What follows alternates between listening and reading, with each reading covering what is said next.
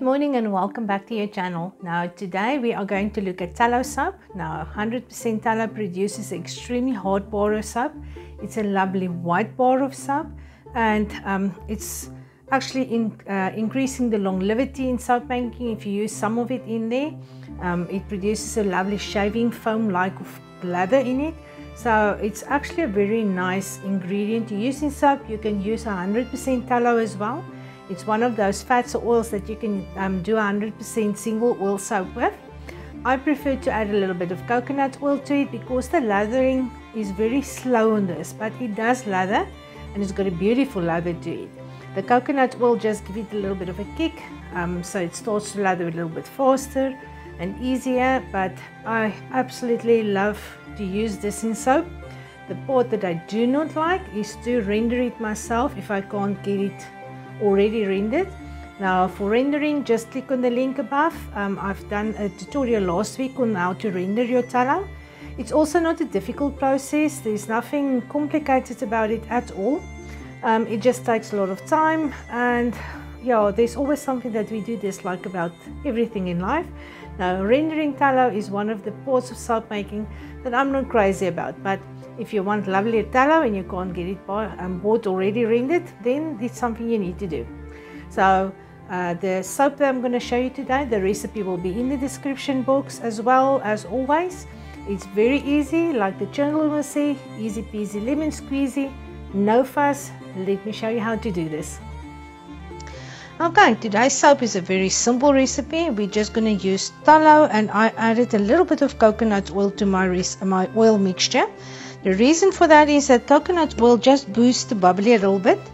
Tallow by itself doesn't really foam very easily. It does foam, it does clean excellently, but the coconut oil just boosts the bubbly a little bit and get it to foam easier. Then I'm going to add a little bit of fragrance oil to it. I've got a peppermint. Grabbed the wrong bottle here. Okay, I've got my little bit of peppermint oil here or mint. Um, this is sorry, this is a fragrance oil. It's not essential oil. This is for laundry, so I'm not really too fussed about that. So what I've done here, I have 57 degrees Celsius this one is 48 degrees Celsius. Now the important thing is um, with tallow soap, you need to work 40 degrees or warmer but less than 60 degrees Celsius. The reason for 40 degrees Celsius is high in stearic acid. So if you soap lower, you can end up with stearic acid spots and that's actually it's just cosmetical but it's not a big issue. Now for today, I can't find my other gloves here. I've got these horrible little plastic thingies. I do not like them simply because they're single use, they go to a landfill, they do not biodegrade. I prefer to reuse my other gloves, but for the life of me, I don't know where they are. So, um, if I usually use um, disposable gloves, I try to go for uh, latex gloves. They do um, biodegrade after a few years. They actually do take quite a while, but at least are biodegradable and protect our eyes. And let's see, we're just to add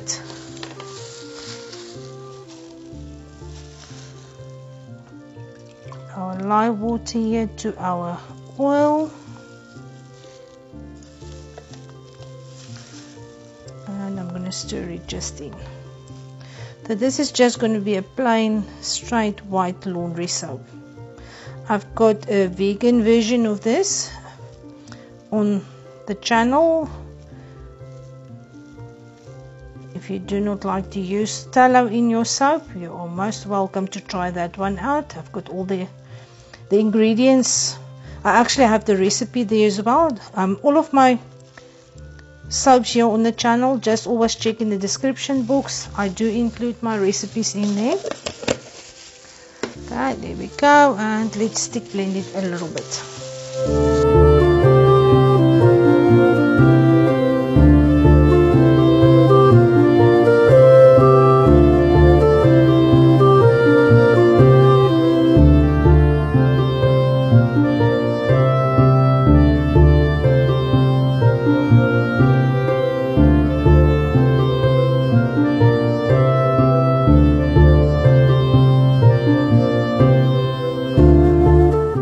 this is already at the medium trace here. It's actually still a thin trace not a medium trace um, the other reason why you want to work at 40 degrees or higher if you work at a lower temperature with tallow it's very easy to get a false trace and then you think your soap is a trace and actually the fat just started to solidify. Now normally um, the way that you can visually discern between a false trace and a true trace if you take your soap batter on your spoon this is nice and shiny and it starts to thicken up. A false trace usually looks grainy and much more dull in appearance. So this I know is a true trace here.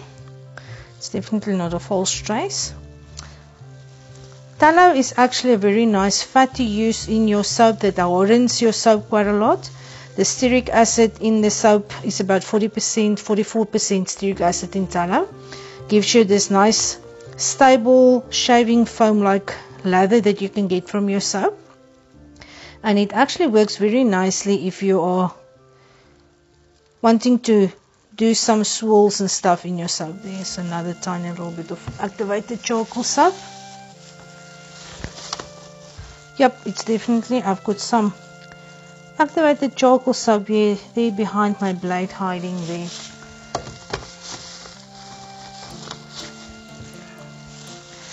I must say the stick blender doesn't clean easily. The blade is very close to the body of the blender.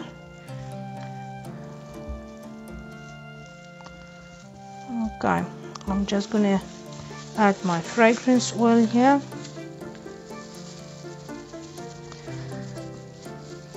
only a tiny little bit. I think it's nearly half a percent. The peppermint is quite strong and I don't really want peppermint soap. I just want it slightly, slightly scented. So I don't add a lot to my tallow. As you see, we've got lots of time to actually work with it. It's still at the thin tray, so this is very, very nice fat to work with all of those delicate and intricate designs that you would like to do with different colors and so on.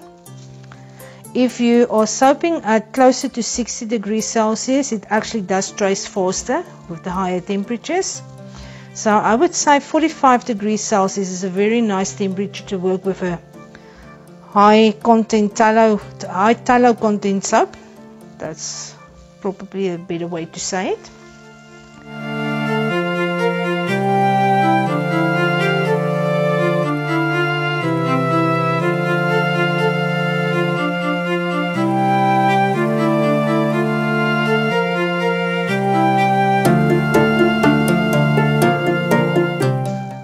It's holding a little bit better shape. It's a medium trace. So it's ready to be poured here. Now just one word of caution or something important about a high tallow soap and even 100% coconut oil soap so this one is now tallow and coconut oil mixed together. If you pour it in a hmm, a log mold there my English just eluded me completely. So if you are pouring it like in a mold like this and you need to cut it, you will have to keep an eye on it because you will have to cut it within 4 to 5 hours while it is still warm to hot. If you leave this soap to cool down completely, you will not be able to cut it at all. You're going to use a saw and you might saw through it but you're not going to cut it. So if you don't have the time or if your timeline is such that you're not going to be able to time it and cut it within four hours, rather use individual molds so that you can unmold it that way. But you're definitely not going to be able to cut it if it's cooled in this mold. So there we go. It's a nice thick trace, maybe a little bit too thick but that is in the eye of the beholder or something like that. A little bit scrape scrape. So yeah there's not much I can tell you about tallow soap it's very straightforward except for work over 40 degrees Celsius, less than 60 degree, so in between there.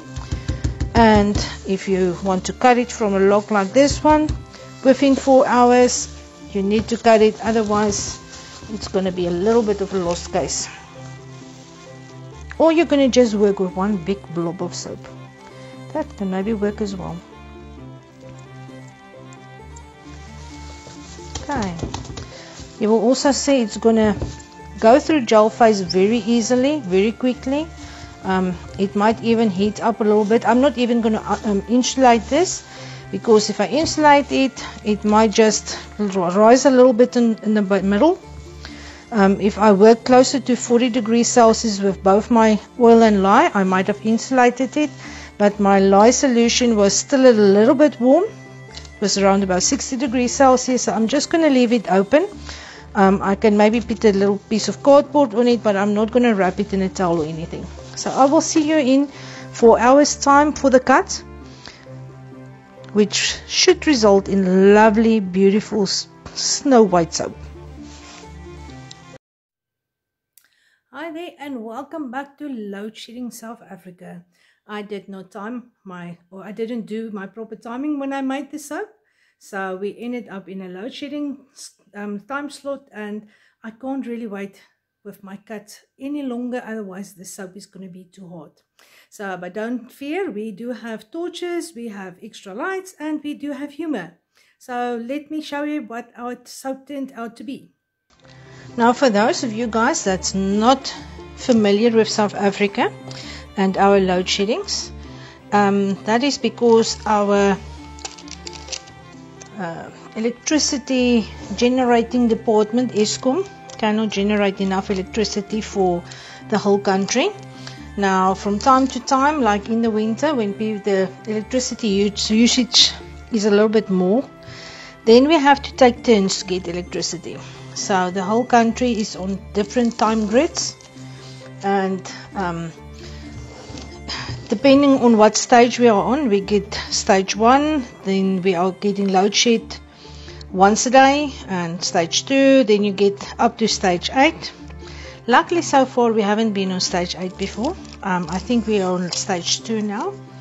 Now you have to keep an eye on this whole thing and time all your stuff around it and I am not very good at all of these things to keep time and keep it in check and know when to go where. So yeah today I didn't even think about load shedding when I started out of my tallow soap. The problem with tallow soap is if I wait another two hours, it's most probably going to be cooled down too much and I won't be able to cut it. So we are going to do it without electricity in the dark. Luckily I've got a phone that I can record with and there Go, go, go, go, go, go, go. It is nice and warm still. Tink. And let's see our first slice. Just for interest, 56 degrees Celsius. So it's still quite warm. But we've got lovely, beautiful white tallow soap which is going to be an awesome laundry soap there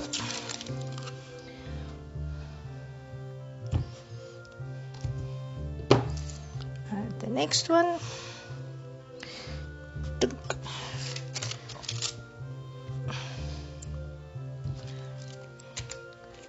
Oh, it back. And the next one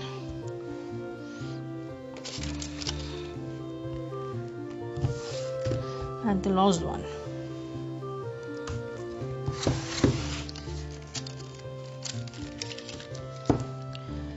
There we go.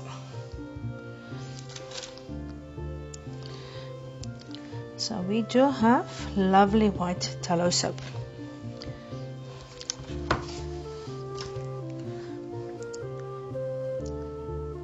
This one is actually still sort of burning my fingers on the inside so there you can see it's nearly 60 degrees Celsius. Oh there we go to 60 so the soap is really still warm. It's very firm. I can press it press down on it.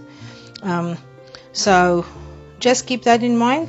For 100% coconut oil soap as well you will need to cut it while it's still warm otherwise you won't be able to cut it.